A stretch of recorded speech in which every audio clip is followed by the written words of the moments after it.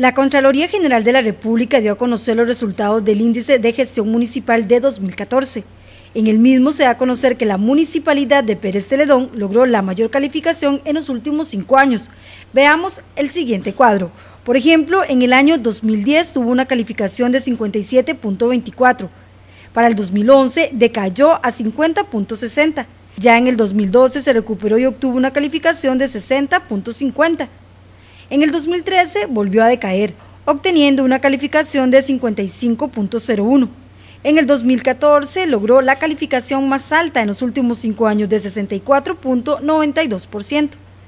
En esta oportunidad, la municipalidad tuvo un repunte importante en el tema de depósito y tratamiento de los residuos de un año a otro. Pasó en el 2013 de una calificación de un 31.68 a un 95.80 Igualmente se mantuvo con puntos positivos en contratación administrativa. Lograron en el 2013 un 96.76 a un 98.10 el año anterior.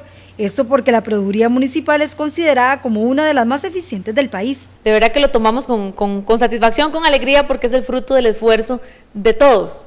En esto participamos todos los departamentos, los, funcionarios municipales, participan también los regidores del Consejo Municipal, tienen una participación importante y este, son casi 10 puntos que hemos subido que de verdad se toman con mucha alegría, sobre todo cuando, cuando hemos subido en temas tan importantes como el manejo de los residuos sólidos. Pero en esta nota el ayuntamiento también tuvo puntajes bajos. En el tema de parque y obras de ornato es donde menos calificación obtuvo. En el 2013 le dieron un 15.25 y ahora un 13.30. La razón, explicó la alcaldesa Vera Corrales, porque en este municipio no existe un impuesto para embellecer los parques, por ejemplo, y afirman que aunque tengan una calificación baja en ese rubro, no pretenden hacer el cobro. Viene a pagar sus impuestos, haya un rubro donde diga parques y ornato. Nosotros no tenemos esa tarifa en, ningún eh, lugar del cantón y eso hace que ahí nos ganemos nada más y nada menos que un cero. Entonces es ha sido una política para no, para no incrementar los impuestos de los ciudadanos y yo creo que así vamos a seguir si, si ese es el costo. Otro punto también bajo es gestión vial, pues hace dos años tuvo una calificación de 62 puntos y ahora 65.90. En este caso, la jerarca explicó que el año anterior fue más de trámites y que este 2015 es más de ejecución, por lo que los cambios ahí se verán reflejados el próximo año.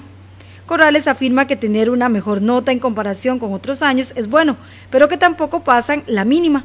Por esa razón creen necesario trabajar más en conjunto con el Consejo Municipal y las fuerzas vivas. Y dejar pues de lado esa parte egoísta ¿no? que, muchas veces encontramos en, en, los mismos políticos, que muchas veces encontramos en las mismas fuerzas sociales, que a veces solo queremos nuestro bienestar y no pensamos en las de los demás. Yo creo que esto no es un tema de la municipalidad, eh, este es un tema que nos compete a todos como, como generareños. Cabe indicar que la lista global, la municipalidad de Pérez Celedón alcanzó la posición número 23.